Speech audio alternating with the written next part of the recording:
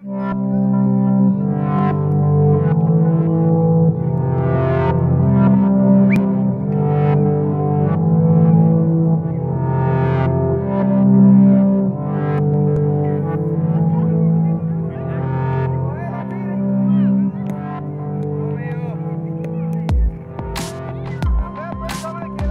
tycker vi har en bra kvalitet.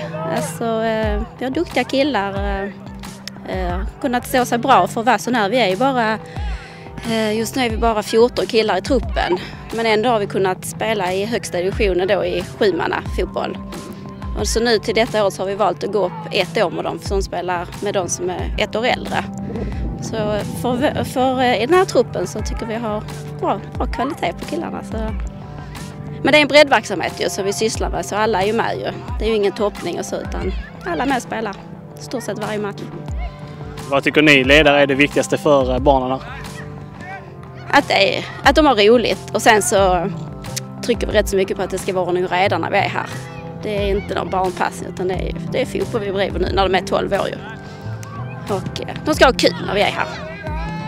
De eh, kommer ju få kliva in på Olympia med spelarna när HIF spelar match här. Hur mycket ser de fram emot det?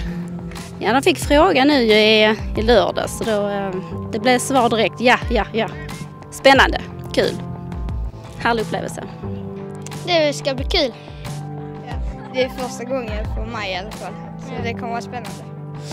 Vad ser ni mest fram emot? Det är nog att eh, prata med HIF-spelarna när man väl går in där. Gå in med Jordan Larsson.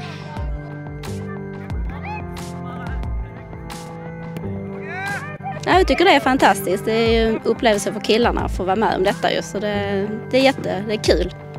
Kul att även vi småklubbarna får lov vara med lite. Hur viktigt tycker ni att eh, det är att HIF eh, bryr sig om småklubbsfotbollen? Jo, vi har ju, vi brukar ha vår sommarkamp så då brukar vi ha lite HIF-inslag här med tränare och ibland har ju A-lagsspelare varit här ute och skrivit eh, autografer och hälsat på killarna så vi, vi tycker det är toppen. Det, det är härligt att de ser oss här ute också ju.